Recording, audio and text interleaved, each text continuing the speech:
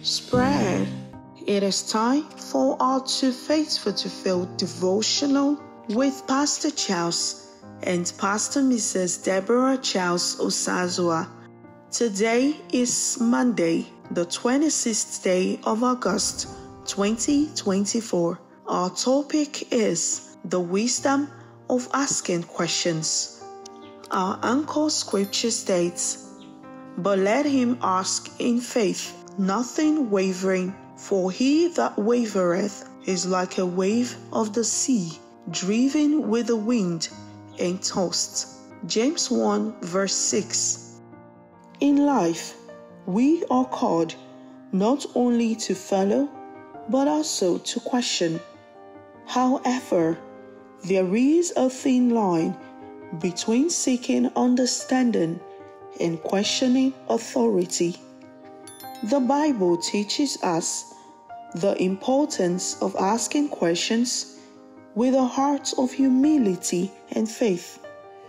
When we ask questions without faith, we are driven by doubts and uncertainty.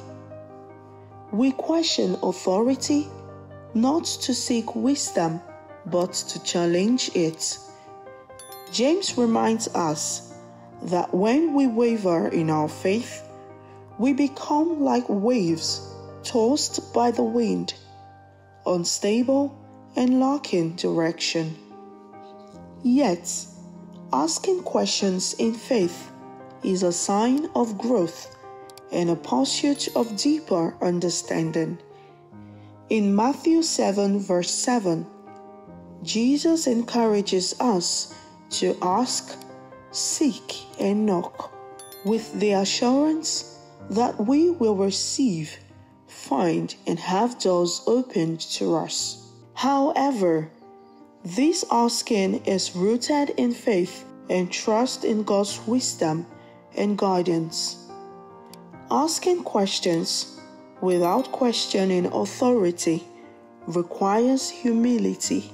Proverbs 3, verse 5 to 6 tells us to trust in the Lord with all our hearts and lean not on our own understanding.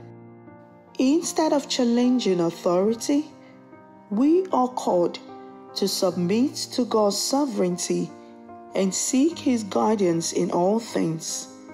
So, as we go through life's complexities, let us approach questions asking with a spirit of faith and humility. Let us seek understanding with reverence for God's wisdom and authority, trusting that He will lead us on the path of righteousness. Let us pray. Please say after me, Lord, grant us the wisdom to ask questions with faith and humility. Help us to trust in your sovereignty and guidance, even when we do not fully understand. Praise God. Let us take the confession together. My seeking is rooted in a desire to grow closer to God and to walk in His ways. Praise God. I thank you for being part of this morning devotion.